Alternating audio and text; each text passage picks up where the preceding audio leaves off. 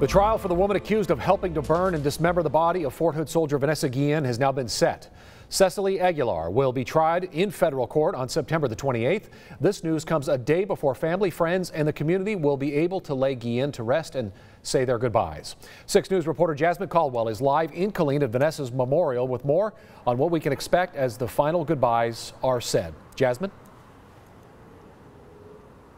Yeah, well, Chris, it's been a long and emotional three months for the family of Private First Class Vanessa Guillen. Her funeral will be this weekend in her hometown of Houston.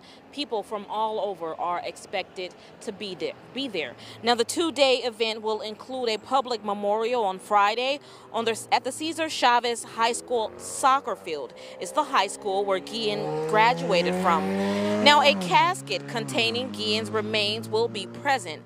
Masks are required and social distancing will be enforced.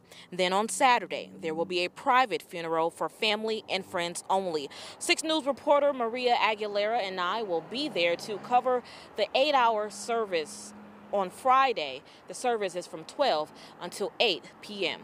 Reporting live in Killeen, Jasmine Caldwell, 6 News. Okay, looking forward to both of your reports. Thank you, Jasmine.